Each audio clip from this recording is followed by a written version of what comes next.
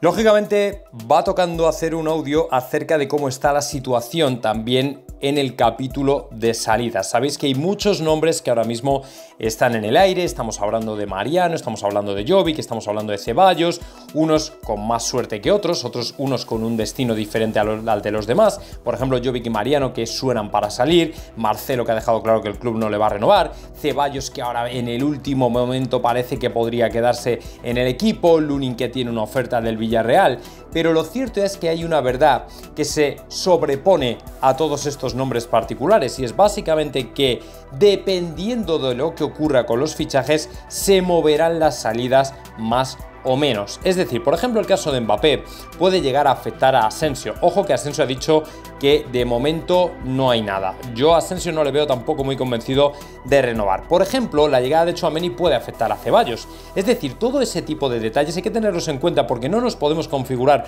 una lista fija de quiénes van a salir o no, cuando realmente todavía no sabemos qué va a pasar, pero claro, es que no nos podemos mover. Es que tenemos una final de Champions en 48 horas y antes de eso no se puede hacer nada. No podemos mover nada, no tiene sentido, ¿me entendéis? Entonces, vamos a esperar vamos a proclamarnos campeones de Europa por decimocuarta vez y entonces empezaremos a cerrar, abrir puertas, ventanas y lo que haga falta, ¿me entendéis? Así que todos tranquilos con el tema de salidas, que habrá movimiento, pero dependiendo siempre de los fichajes.